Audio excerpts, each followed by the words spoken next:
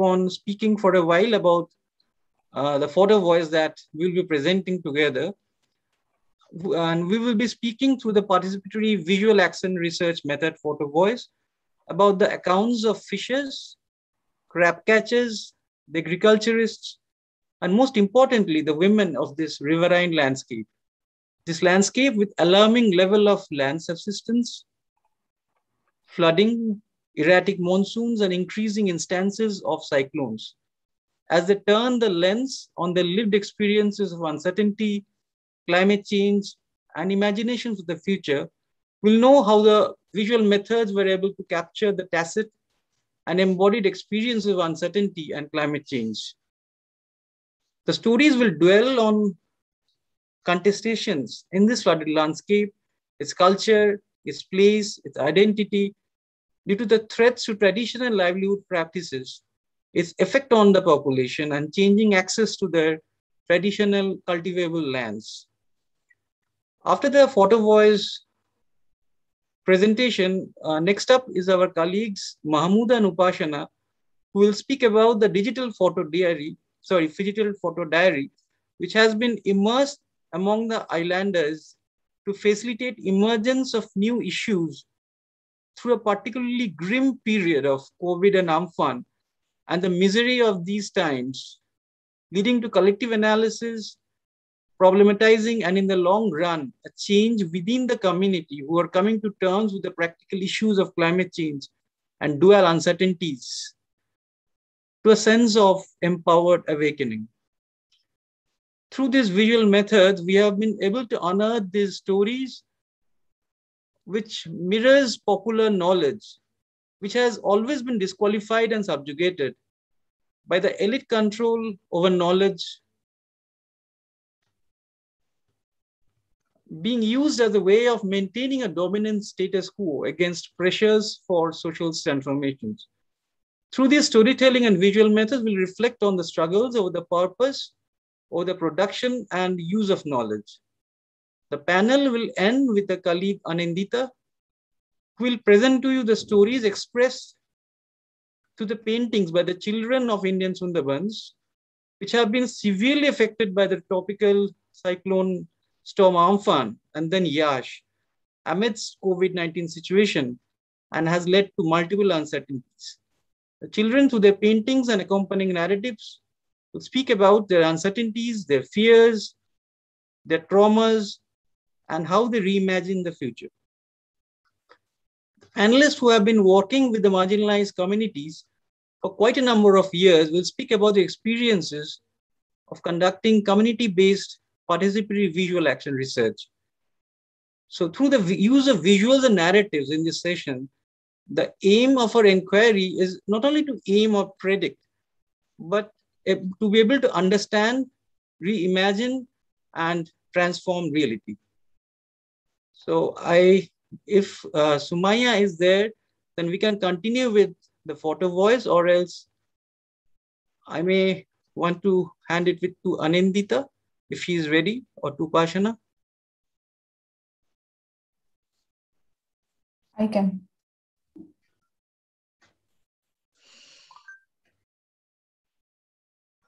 Anindita, are you starting? Yes, yes. Yeah, yeah. I think you should, uh, uh, yeah.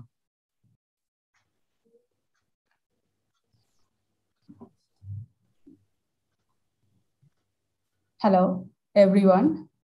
I am Anindita Shaha, working as a research associate at uh, CWH uh, Sussex University.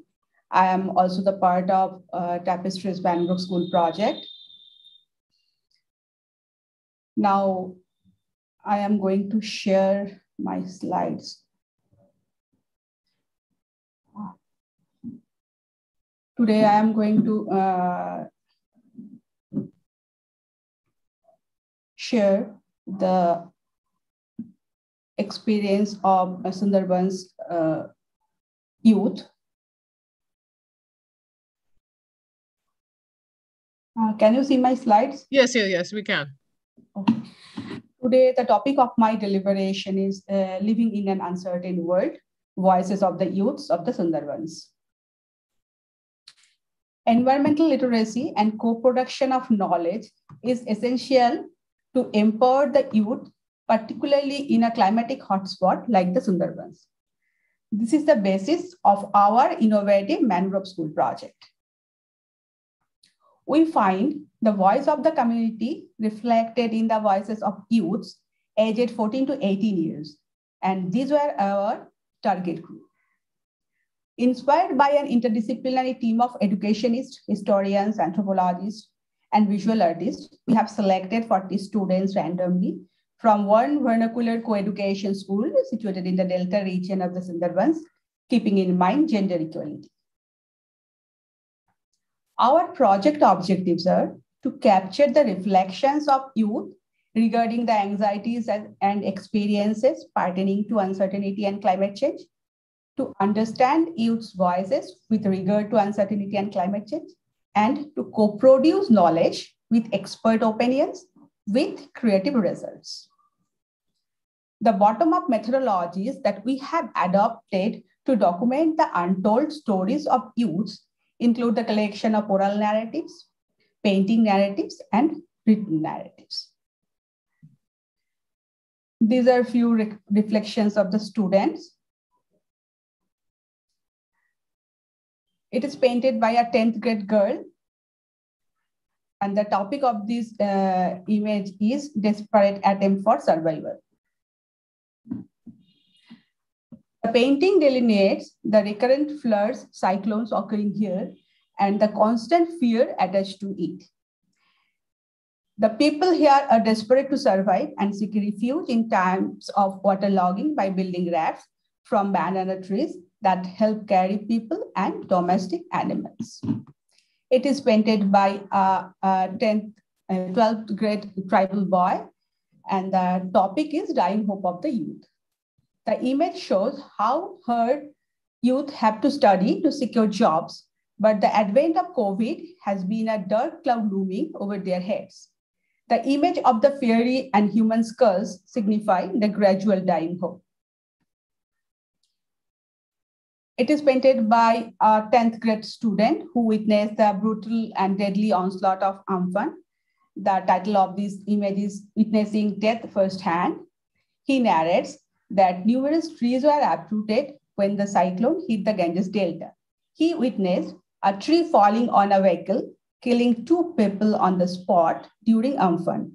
He mentioned that this traumatic experience will be forever etched in his memory. 10th grade student share his experience through this visual narrative. And the title of this image is Cyclone Amphan Cripples Our Sundarban. According to his narrative, Cyclone Amphan proved to be fatal for the people in Sundarbans under COVID. His own mud house was swept away because of the devastating cyclone. The old lady seen in the painting is his grandmother. She is wearing a mask that signifies dual uncertainty. Amphan and COVID. The painting invite audiences to respond in two overall ways to the images or text that demand them to situate themselves in relation to the art and the artist and what is being conveyed. To co-create transformation, we should ask following questions to ourselves.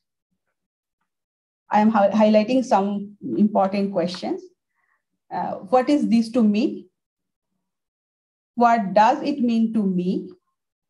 What am I to this? Where am I in this story? What does this mean, this demand on me as human being, customer, sorry, consumer, professional, citizen, or academic? Our future plans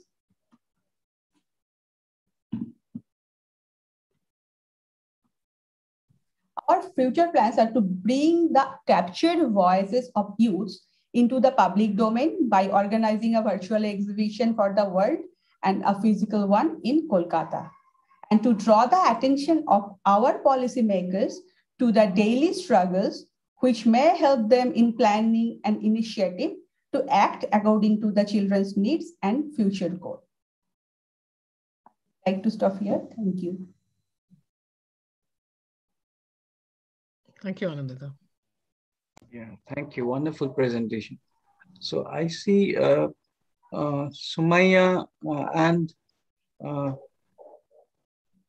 Mahmuda is in the LLA hub. So will Sumaya be going with the photo voice presentation or will they need some more time?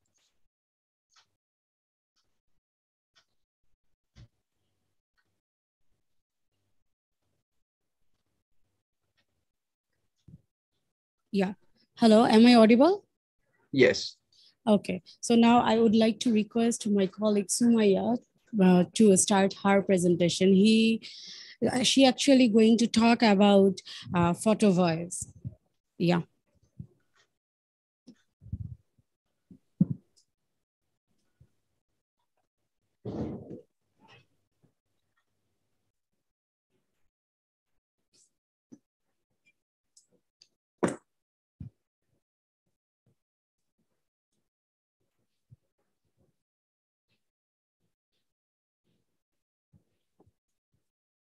Hello, everyone. Uh, I hope you can all see the screen.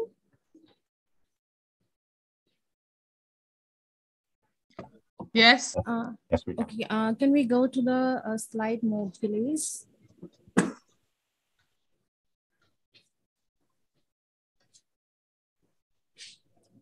Okay, uh, hello, everyone.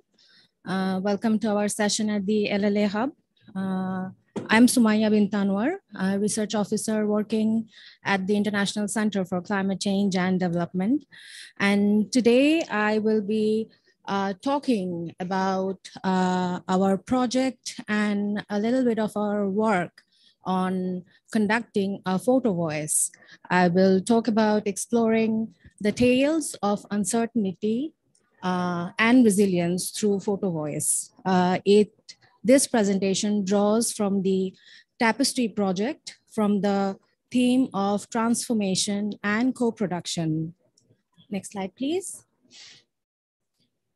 Uh, in this presentation, we will uh, talk about the lived experience of the people of the Sundarbans living at the confluence of the active delta of Bay of Bengal, uh, which is the single largest mangrove patch of the world spread across 10,300 square kilometers, of which 60% is in Bangladesh and the rest of the part is in Sundarban.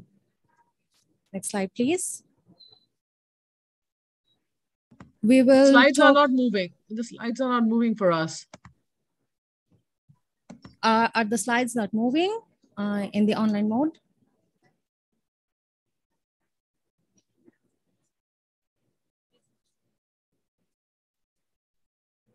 We will uh, talk about lived experiences of uncertainty, uh, living through climatic natural disasters, climatic hazards like sea level rise, increasing surface temperature, high erosion rate in the active delta, increasing climatic events like cyclones and flood. We will talk about the uncertainty of COVID-19 and these climatic hazards that the people of these active deltas in Sundarban are going through and living every day of their lives. Next slide, please. In addition to the uh, above mentioned ecological uh, uncertainty that I have talked about, there is also a series of cyclonic events that the people are facing almost every year and they're having trouble coping up with it. Uh, these cyclonic events are causing damage to the embankments, um, uh, to the mud, mud embankments, I would say, allowing water to enter the fields and uh, flood the uh, cultivable grounds and making the wa water and making the land saline. Next slide, please. In this project, uh, the photo voice component has been conducted among the women.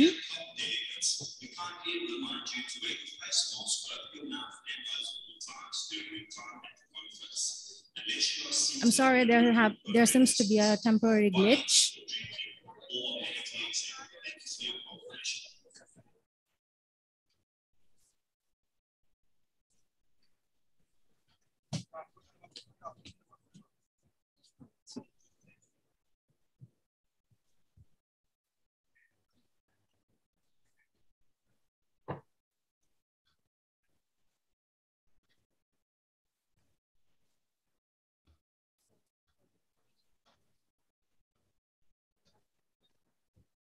Hello?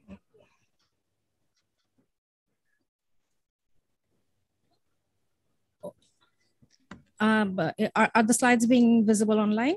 Yeah. Yeah, okay, yeah. okay, thank you. Okay, um, in this project, uh, we, will, we will tell the stories of around 7.2 million people living around the active deltas. In fact, uh, the population of the people, the amount of population living in this active delta is even more than the entire population of Norway, you know. Uh, they will, uh, we have conducted this uh, in a manner that the women living there, they have been asked about uh, to share their experiences of their daily lives, about their problems, uh, and the solutions they are uh, coming up with themselves to solve these problems. And just they have shared uh, their daily experiences of living in these active deltas through these photo stories. Next slide, please.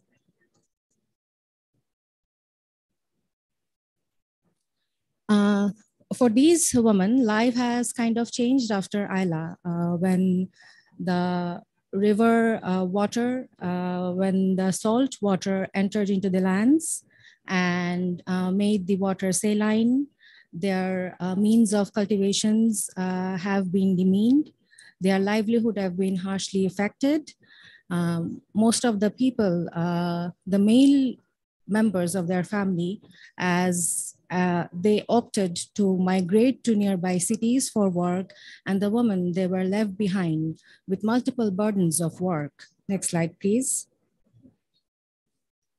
Uh, we use women as co-researchers. Uh, the women group that uh, we targeted we wanted to make sure that we include all the components, all the social components of women uh, living in those areas. For example, we have included crab and fish collectors, uh, women who are working in the gher, as they call it in local language. We have collected uh, photos of uh, uh, experiences of women living on the embankment. Uh, we have targeted the ethnic minorities like the Munda community, landless farmers, gher owners, and also people, women who are going inside the Sundarbans uh, to get, you know, uh, seasonal resources. Next slide.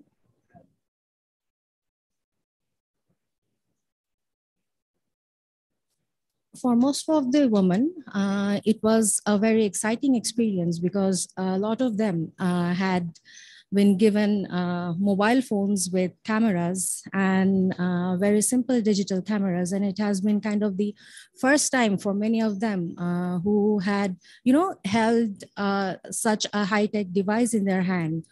Uh, we taught them how to use it. Uh, we asked them to capture their daily experiences living in these areas. And it was a very exciting thing for them. They've learned through the process and they have lo uh, loved being a part of the process. Um, in the next slide, I'll show you some examples of the uh, images that they have captured. Next slide.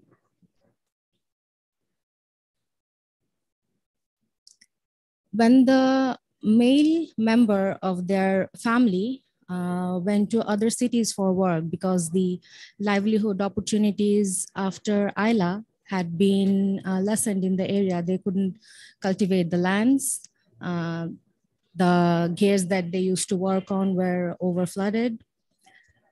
When the male people migrated uh, due to the you know social barriers, the women were left behind. We asked them uh, to share their life experiences and they came up with these stories by themselves. We just facilitate the sessions they took the pictures by themselves, the pictures that tell the stories of their everyday lives. In the first picture, you can see a group of women collecting water in uh, coastal areas of Bangladesh, area uh, beside the sea. The water is a major problem uh, fresh water is a major problem. They don't get water to drink. They need to walk. They need to walk miles of miles of uh, muddy roads to collect water.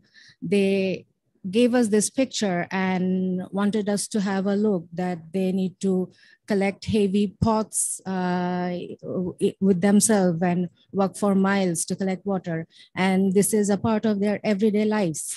And it has become a regular thing for them. But when we see it from outside, water for us is just a next to normal thing, but for them, collecting water uh, means to have sufficient water as a storage for every day is a factor of, you know, great big deal. So they gave us this picture to have an insight of their life. In the next picture, upper middle picture, uh, go back to the previous slide, please. Yeah, in the upper next picture, uh, you can see a woman. She works as a day laborer. Uh, she gave us this picture and she uh, wanted to tell her story, indicating that as a woman, she has to conduct various activities. Uh, she works as a day labor besides taking care of her home.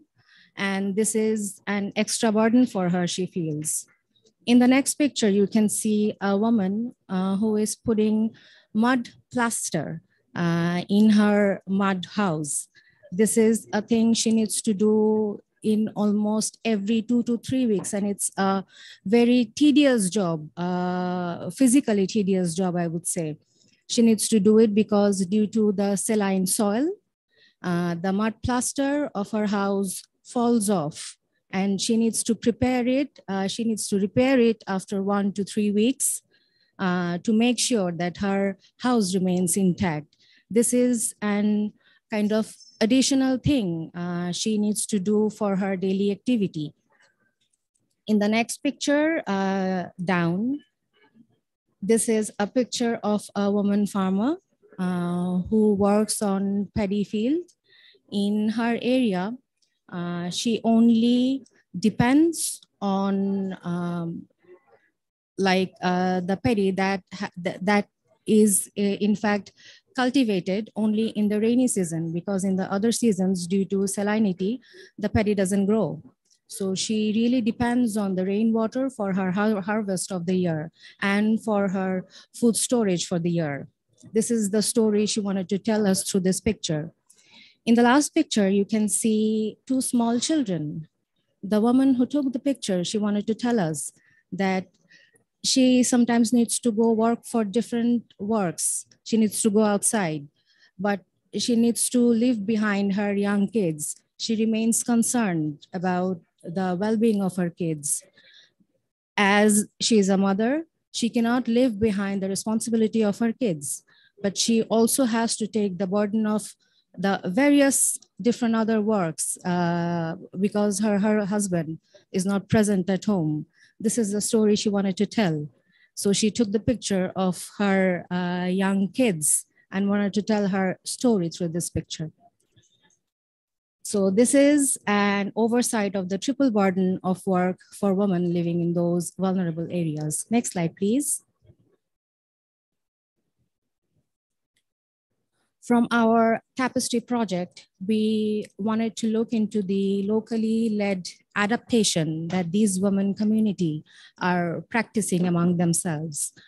We have already given an insight about the different uh, burden that they have within their lives. But what they are doing to cope up with it, you know, it's not all sad news everywhere.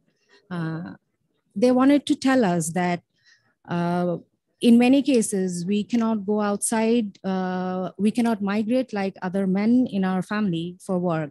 But what we are doing is we are turning our home ground into our own earning means.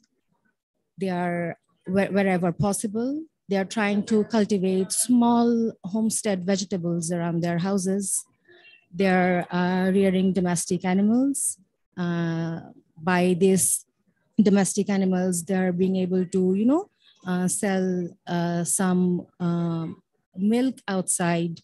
They're uh, with the homestead gardening, they are saving some for their own consumption and they are selling the leftover uh, outside to nearby areas. And by this, they are kind of earning some means of monetary value and they feel that they're uh, turning their own houses, the area of their own houses into their own turning means. And it's very inspiring to see that they give so much efforts uh, to such adaptation measures. Next slide, please. In this picture, the woman, they wanted to show us that they're living with disasters, they're living with cyclones every day, you know, but they're coming up with their own means, their own survival techniques to battle these horrible winds and storms. This by this picture, the woman they wanted to show was the local technique that they used to survive. In the first picture, you can see uh, the roof, the tin roof of their house being tied to the ground it, it is done so that uh, the wind don't blow off the tin shades from their houses. And this is a technique they have learned by themselves, you know, living with such winds for years and years, and they have learned by themselves. Maybe uh, like in the villages of Bangladesh, I have, I have visited personally. I haven't seen this being done in other parts of the country because this is like a kind of area specific techniques that they have developed among themselves.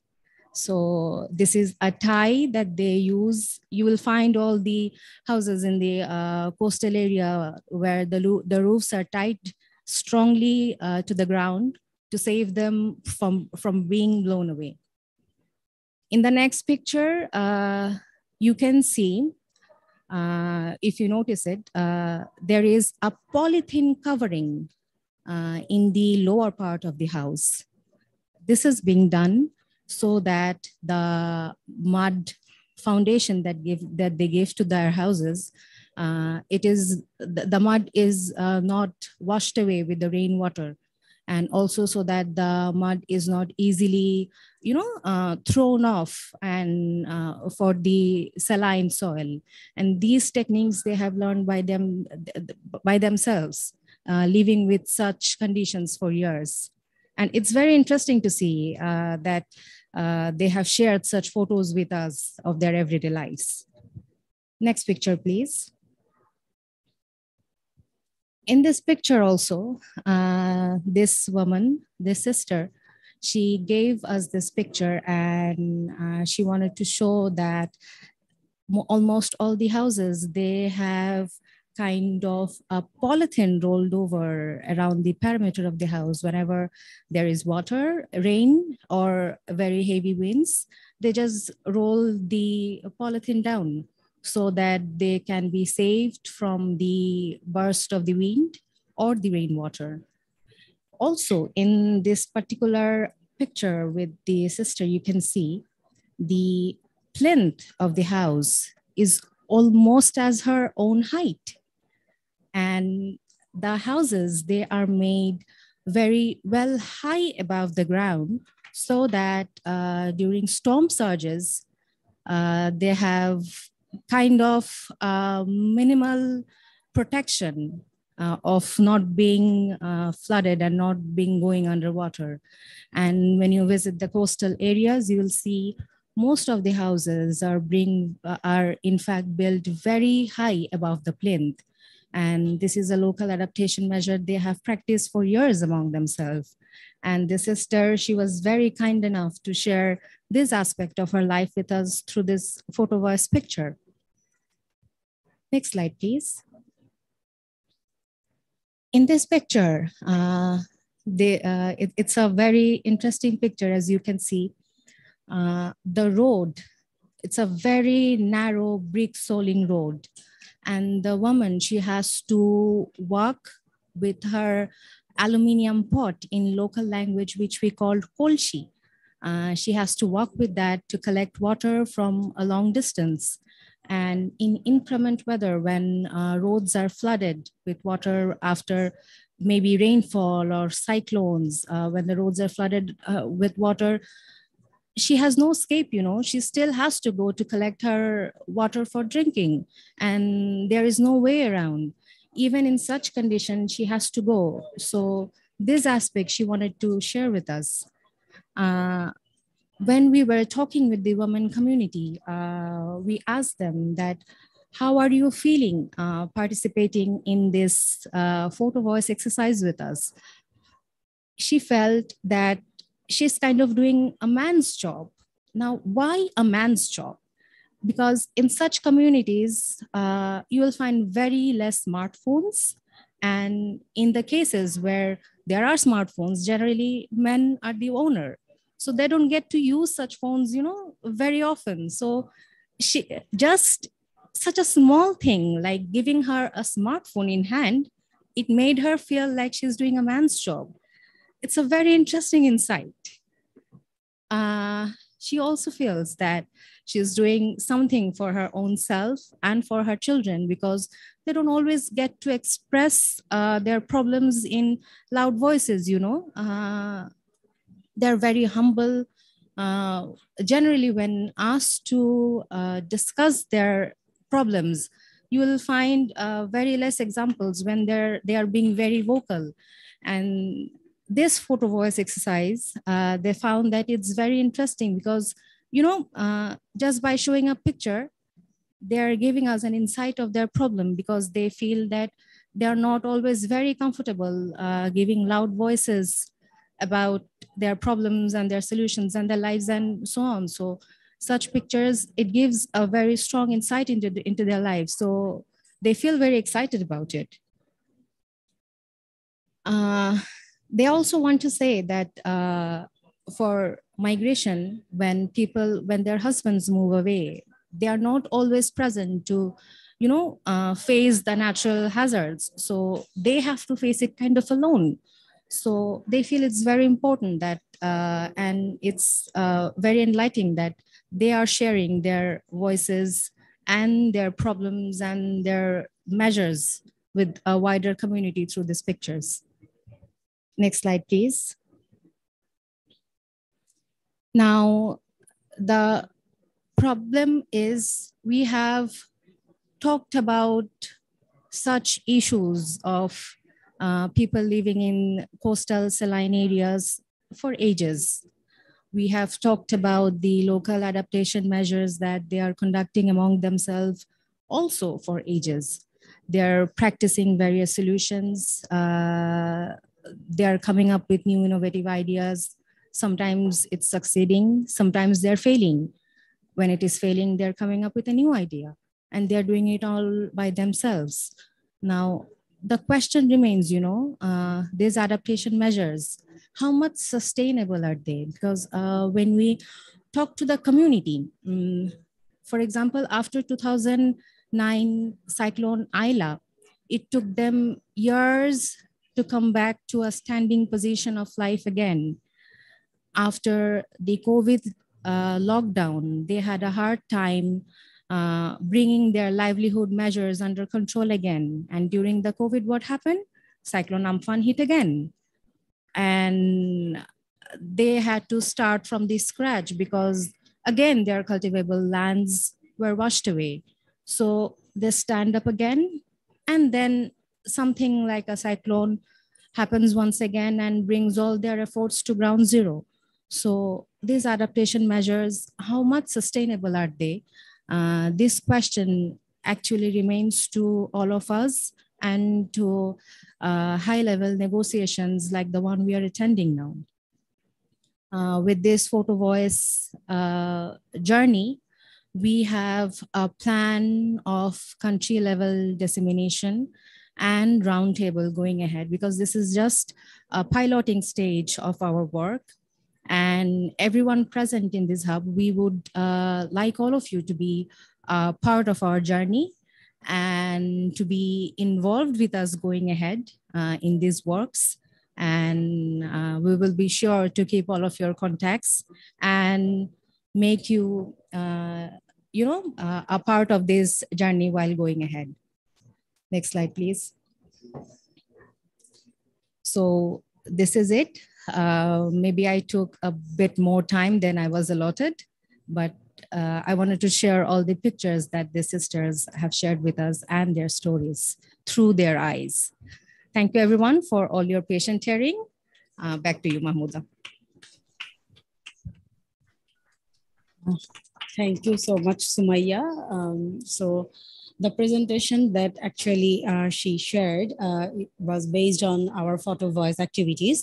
So now I would like to request my colleague uh, Upashana Ghosh to uh, talk a little bit about digital diary. So we actually, we also uh, like conducted digital diary to facilitate co-production and to understand the agency of migrants in both Indian and Bangladesh Sundarban Park. So Upashana, are you here? Yes, I'm here. Okay, please go ahead. So, uh, Mahmouda, can you please navigate the slides or maybe yeah, yeah, I will, no worries. Okay, okay. So, hi everyone. Um, already my uh, colleagues have uh, introduced Sundarbans to you.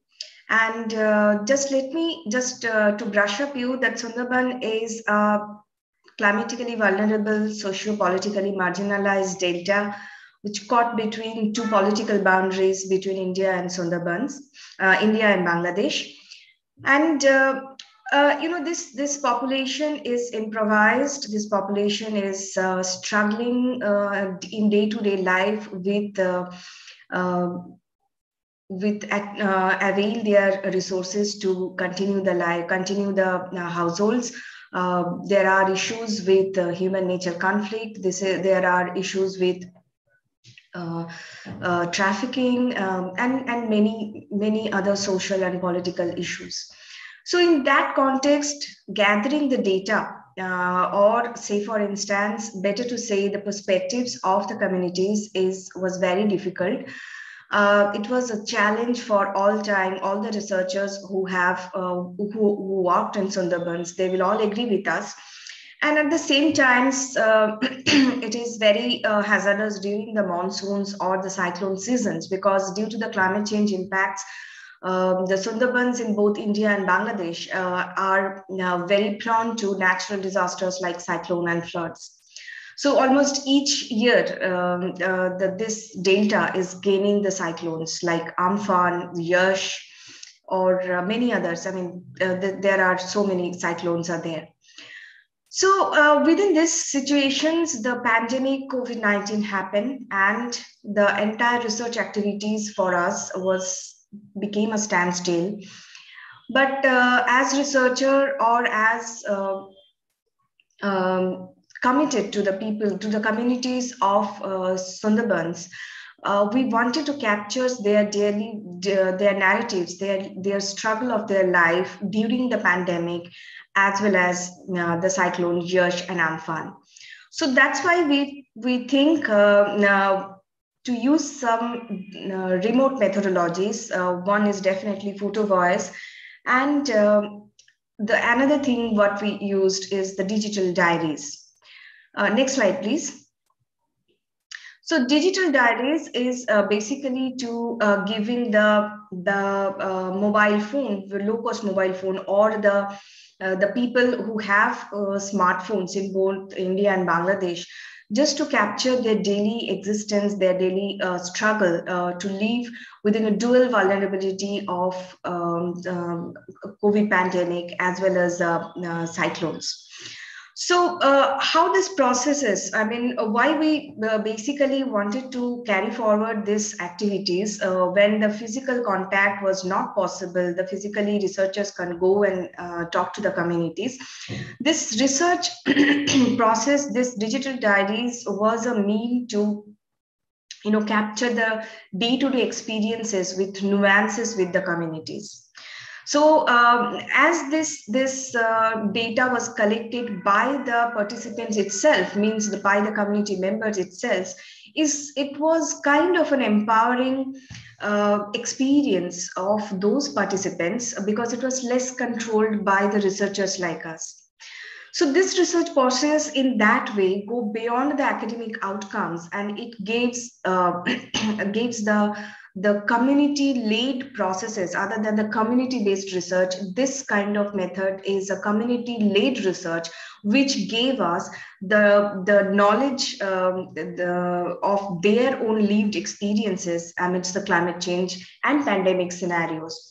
So uh, this and and as well as you know uh, as researchers we cannot uh, be with the communities uh, or our, or our respondents or our participants all the time of a day so if we need to capture uh, the nuances of their daily life, these tools give us a means of capturing the every moment that the participants want, wanted us to tell or wanted us to capture through our research. So that's how these methods are uh, very helpful. And as I mentioned that this is this was more helpful during the COVID pandemic and uh, cyclonic uh, environment. Next slide, please. so uh, this digital diaries helped us in uh, getting the ground perspectives what we wanted to capture through our uh, um, in, in our tapestry project.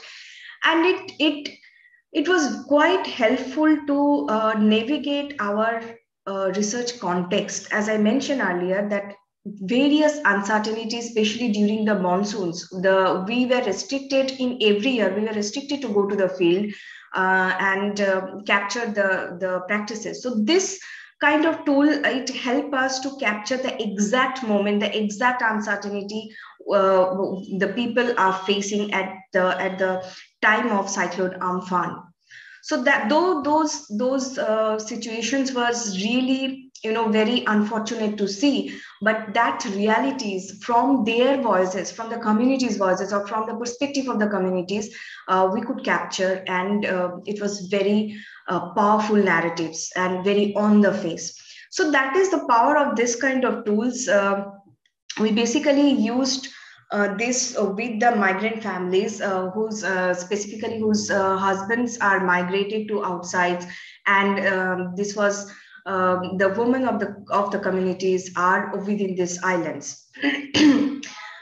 so uh, this uh, this also these tools gave us a kind of freedom to you know capture the the continuous changes means uh, during in if in each year in every season uh, we could capture the seasonality uh, of uh, the struggles or the uncertainties uh, through, throughout the season of a year. And that was that was quite useful because it was not possible for the researchers to go every time because in a, in a time bound manner manner we are doing this research and the complete traditional ethnography is not possible.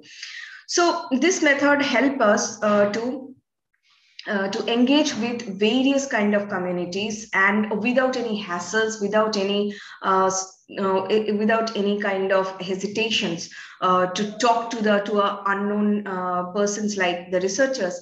And easily they can overcome that barriers and continue capturing their life. Next slide please. So Mahmuda, would, would you like to um, reflect on the case studies? Yes, I can. So yeah. thank you so much, Upashana. So uh, like this picture was taken in April, uh, April this year.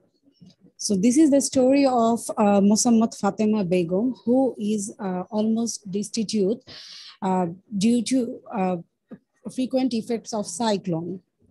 She used to live in Chimultuli, uh, but uh, like Shimutuli is an, another village of uh, Shamnagar. So during Cyclone Aila, the like she almost uh, lost their like land, household, like uh, properties and everything uh, due to river erosion and were forced to move uh, in this place, new place, which is another gram of Munshiganj Union. But what a cruel um, irony of fact, this house also collapsed during Cyclone Amphan. Uh, she is now working as a day laborer, but is not enough, like earning enough uh, money to repair this house. Next slide, please. Uh, this is a picture of a fresh water pond, uh, which is used to uh, like for uh, cultivating fish and vegetable. And also the other household uh, activities. The Suparna Nandi mentioned that they couldn't cultivate at all due to high salinity in the area.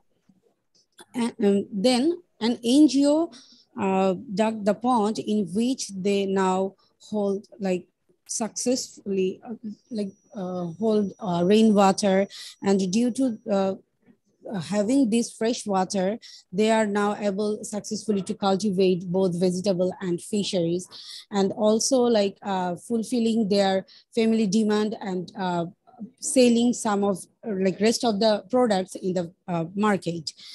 Uh, next slide, please. Uh, this picture uh, was also taken by a woman who uh, mentioned that Cyclone Amphan and Yaas had put extra pressure on their livelihood. As a result, all the male members of the house had to migrate seasonally for working purpose. Now the female members are responsible for taking care of their family, for like uh, look after all the household activities, also earning money for day-to-day -day food. Next slide, please. So this is another picture taken from uh, our digital diary work. Uh, the narrative of this picture is uh, from a father's point of view. The like I mean I'm saying uh, the words of a person who took the picture. According to him, uh, these are the cycles that he bought for his uh, sons and daughter. his daughter is married and his sons have uh, migrated to uh, out of the country. So now, uh, like he uh, mentioned that he had to take loans to buy these cycles, but unfortunately they remain unused for most of the time. Uh, now he's thinking of giving this to someone else who can use them. And he was like becoming so emotional while sharing these stories like uh, he was saying we are very poor people. We can't uh, like make money or we can't arrange money for like fulfill our interest. So it's not our need. It, it was our like hobby. Like my son and daughter were like uh, demanding it for like moving to school but now they are not able to using both of them. So in this way the local people are sharing their daily uh, stories, which helps us to conduct the research more actively. Uh, now, I would like to request Upashana to conclude the presentation. Upashana, hand over yeah. to you. Yeah, can you please move to the next slide? Yeah, so uh, the, you heard uh, from Mahmuda that's, uh, you know, both in India and Bangladesh sides, the people are uh, presenting their stories, the communities are um, narrating their like lived experiences, which which we wanted to capture. But uh, in many great things um, comes with challenges. So so as the digital diaries um, and say for any uh, visual methods.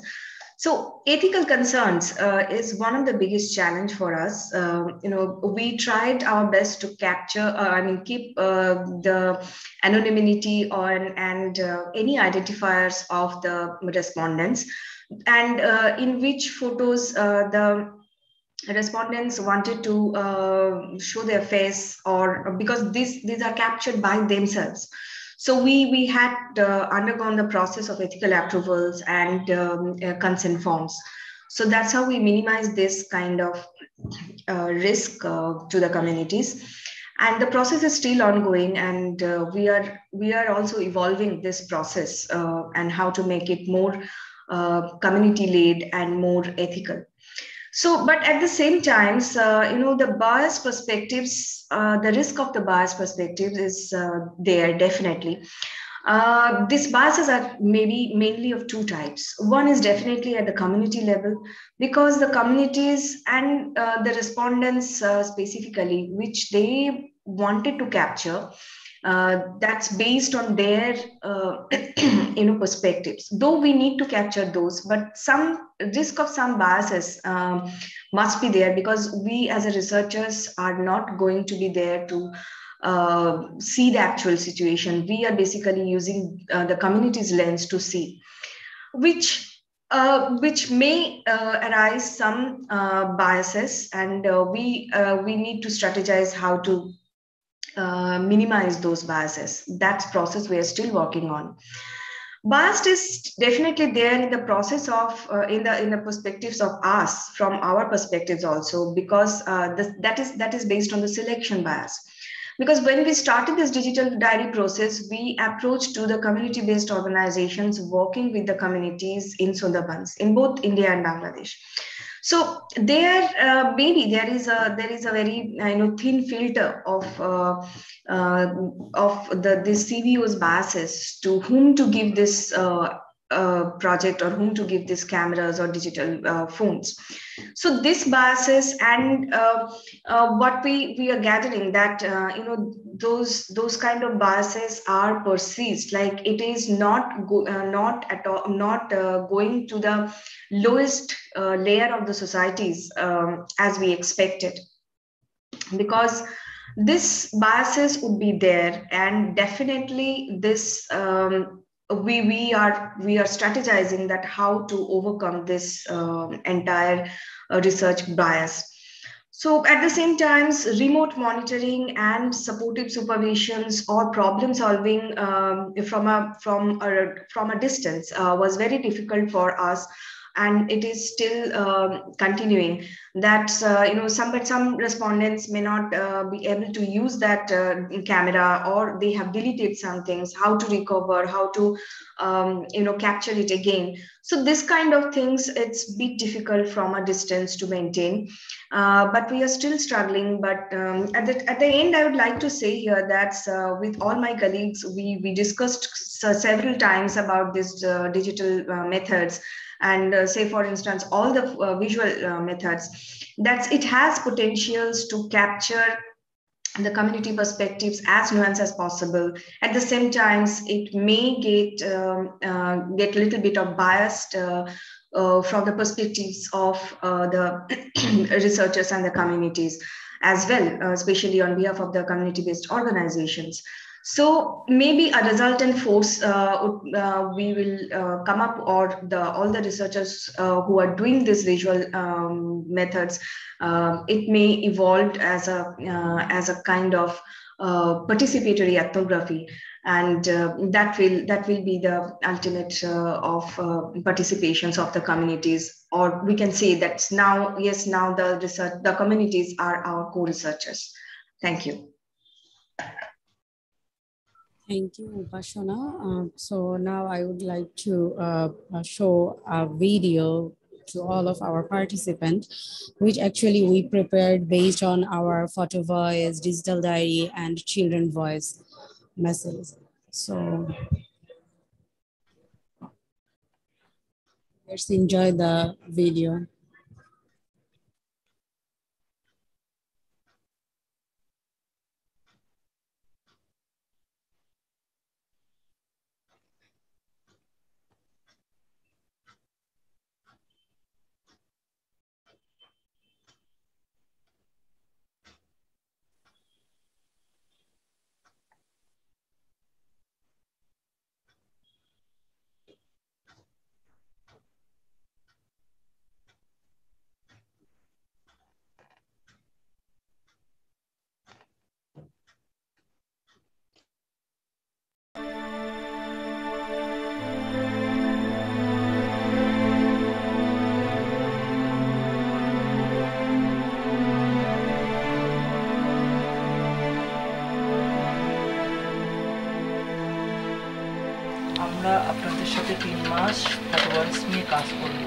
এখানে আপনারা smartphone দিয়ে ছবি তুলবেন। আমরা এই চিহ্নটা ব্যবহার করব কোনো ছবি ওঠানোর সময়। এই রেকর্ডিংটা উপরে হাত দিবেন। আবার আপন আপনি ওটা আছে রেকর্ডিং সেভ হয়ে আপনাদের সবার ছবির পাশাপাশি আমরা আপনাদের পরিচয় পরিচয় বলতে নাম এবং যেই জায়গায় আপনারা থাকেন।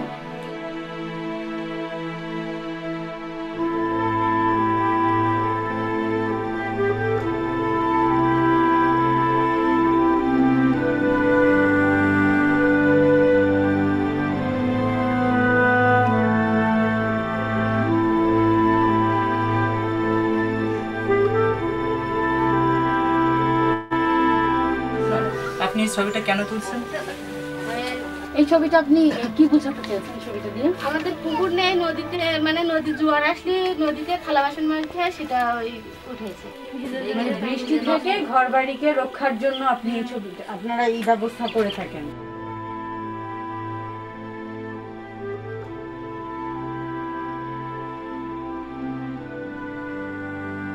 ফটো ভয়েস প্রোগ্রামের কাজ করতে গিয়ে একটা বাস্তবমুখী অভিজ্ঞতা হয়েছে। সেটা হচ্ছে যে আমাদের গ্রামের মেয়েরা সাধারণত দশের সামনে কথা বলার একটা সাহস বা অভিজ্ঞতা ছিল না। সেই জায়গাটাতে দশের সঙ্গে বসে একটা কথা বলার মতন মনোবল তৈরি করতে পেরেছে। সব থেকে বড় অভিজ্ঞতা হয়েছে যে নিজেরা যেহেতু গ্রাম বাংলার মধ্যে থাকি, কোনগুলোর দ্বারা কি কি ক্ষতি হতে পারে আমাদের মধ্যে, সেই অভিজ্ঞতাটা বাস্তবে চোখে দেখলেও অতটা নিজেদের মধ্যে স্বচ্ছ ধারণা ছিল না। সেটা ফটো তুলে এবং দশের সঙ্গে বসার পরে সেখানে একটা ছবির দ্বারা যে বুঝিয়ে দেওয়া হয়েছিল।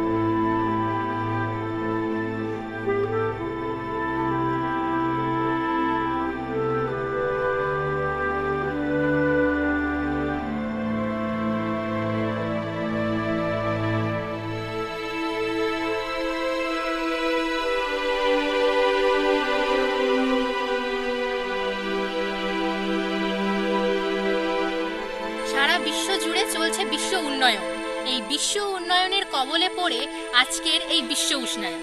তার প্রমাণ আমরা পেয়েছি বিগত কয়েক বছরে। সমুদ্র উপকূল অঞ্চলে বিভিন্ন ঝড় আয়লা সুনামি আমফান, বিভিন্ন রকম ঝড় দেখা দিয়েছে।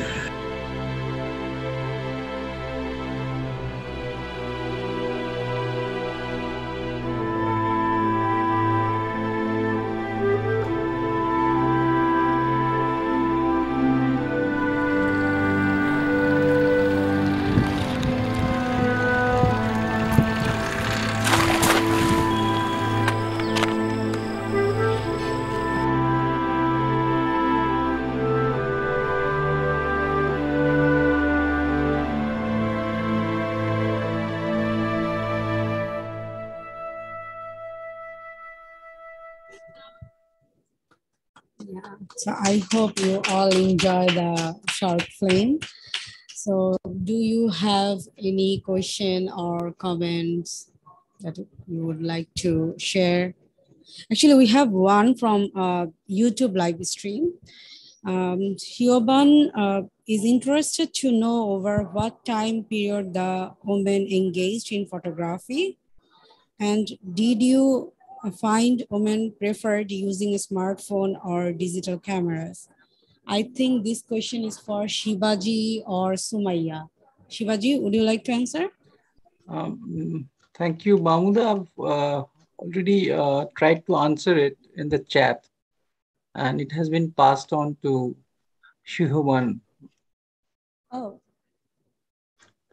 And if Okay. Ma Sumaya wants to add anything to it. okay. I'm handing over to Sum- Sumaya.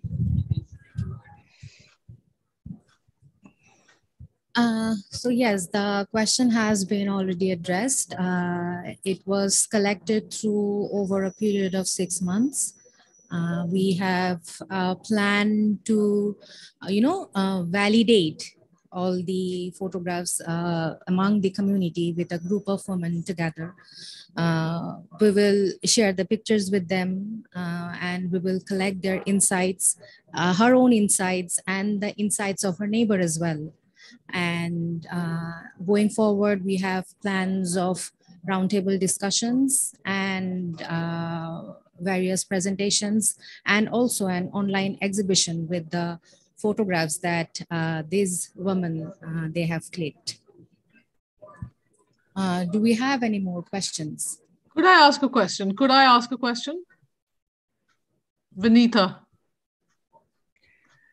So yes, uh, just to say that you know we uh, Anindita and I were part of the uh, collecting the narratives of the children, and in comparison to your photo voice, which is absolutely superb, I was thinking whether we could draw out the comparisons between the the youth seem to be I don't know from Anindita's the paintings that Anandita has collected from the schools in the Indian bit of the Sundarbans, and from your photo voice experience of women, whether the voices of the of the youth are less hopeful.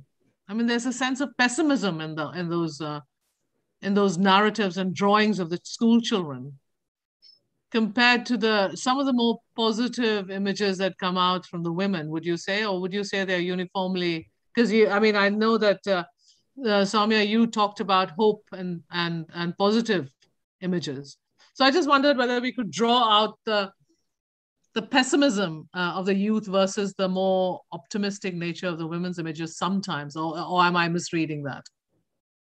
Uh, in fact, I think you pointed it quite correctly. Uh, like now, as uh, you shade a light into it, uh, I think you're uh, partially correct about the fact that, yes, through the photo voice journey, uh, it, I'm say, saying it's still in a kind of pilot phase. Uh, we have seen their problems, but they have uh, been uh, very positive in showing us how they are dealing with it. And they have been very proactive about uh, showing us the solutions they're coming up with. Uh, for example, if I just share a personal experience, when we ask them that uh, you are dealing with uh, so much living in these active deltas, you know, would you like to move somewhere? I mean, if given an opportunity, would you like to go somewhere and resettle and, you know, make your new community and everything? And they're like, no, we don't want to go. Uh, we are dealing with this. We'll have to deal with this. I mean, this is a part of life. This, doesn't mean that we will just leave this space. We belong to the Sundarbans and uh, Sundarban protects us. So we want to be here. So yes, uh, besides all the adversities that they deal with in their everyday lives, at least I think we found positiveness in their approach as well. So uh, it would be very interesting, I would say, to draw a conclusion with a joint narrative from both the visual methods that we have conducted in this tapestry project. So thank you. No, yeah, yeah, thank you. Just one more additional question. I think uh, the Shibaji, your direction of that film was absolutely superb and excellent. May I congratulate you? And I just wanted, uh, I had, I wanted to tease out one more uh, question, which is how you get uh, experts to engage uh, with these photographs, um, with, the, with photo voice. Um, we have a similar problem with the paintings, and what Anindita and I are trying to do at the moment is to get the experts to engage with them from the Botanical Survey of India, from NGOs, and from policymakers to engage with the children's paintings in the way in which we said to invite them uh, what does it mean to me? How do I read this beyond climate change as a scientific fact? What am I learning from this artist? And these children are artists, you know, uh, that I didn't know before. Um, and I wouldn't know if it hadn't been presented visually. So, what? How is that process? Um, how do you visualize that process, and has it been effective for you guys in Photo Voice? because we are just going to start that process in um, with our children's paintings. Yeah. Yeah, we had uh, the experience from the uncertainty project, which we are you know trying to uh, put it to good use and also go a bit beyond. Uh, having this photo voice to be presented in some cases by the women islanded themselves at the roundtables and the policy forums Mm, so, and then uh, last time they came on to the press club and they were so, you know, uh, easily, you know, in the presence of ministers and bureaucrats, uh, which matters, and they were answering questions. And since they have the visuals, like in this case, the children's will have the paintings, and so the, it is will be a better form of interaction uh, from a position of I would not say power, but it will be a shared space. That can be something that we can look at, and also the global exhibition we are planning, if we are really trying to, uh, you know, uh, communicate that well with the right kind of people. So that will be uh, one of the avenues to actually share their ideas and also ask for counter ideas or at least start a dialogue. Thank you.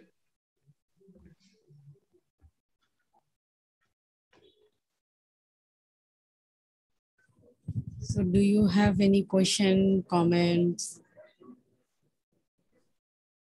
If not, then I would like to request Emdad Bhai to talk something about like our, like as uh, you are from Friendship and uh, we know that you are doing a lot of works in the like Sundarban region. So it would be great if you could like share some of your interventions, like what you are doing and how. Please come to uh, come to the stage. Okay. Truly, when I was uh, watching all the case studies and the film, I was feeling myself I'm there because it's very, very uh, uh, known stories. And it's great that uh, ICAD and uh, our Indian partner, Public Health Foundation, uh, bringing this in the global platform. Honestly, uh, the powerful thing, what proved the smartphone, the, a photo can tell thousands of story and that you made it happen. So it's really brilliant. I i would love to be continue with this journey and i i appreciate the the big bold step i get taken for uh, to bringing and it's not in other words you know to give them confidence not only the storytelling it's giving them confidence empowerment that we can i can. It's not the man's world it's all our worlds. That truly a, uh, I'm significant contribution for the self-esteem. For self-esteem, empowerment, confidence, much needed for our people, those who are fighting for climate crisis. And I truly appreciate. Congratulations.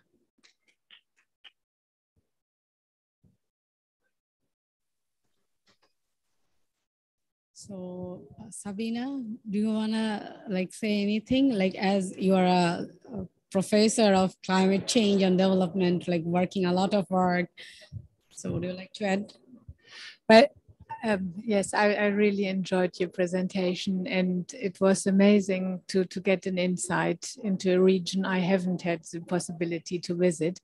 And I liked so much to hear at the end in the film how the women felt empowered to speak up and how the photos really help to do that. I've worked with similar techniques in Mexico, and I think we can just say this is the methodology which works, which gives gives people a voice and which helps also to bring it into a forum like the COP26. Yeah, because not everybody can come, but these pictures were very clear. We now have to find a way to show them to the negotiators as well. Thank you for this great session. Thank you. Thank you so much for a wonderful word. So now it's like, uh, I think it's time to close. So we can uh, conclude our session. And thank you. Thank you so much for attending and uh, providing uh, thoughtful words with us. Thank you. Thank you so much. Also, if you could please, uh, uh Mahmuda, yes, announce yes. tomorrow's session, please. Yes, actually, we have another session tomorrow. So uh, this one was based on uh, like our uh, methodology, like what sorts of method we are using for conducting this research. But tomorrow's session will be more focused on our activities or intervention, what sorts of like uh, initiative we are taking and uh, what are the findings. So I would like to invite everyone to attend that session. So that one will be held in the same place uh, around like 9 to 10 a.m. So hope you all will be able to attend that one and will enjoy as well. Thank you. Thank you. Bye-bye. Thank you so much. Thanks. Thank you.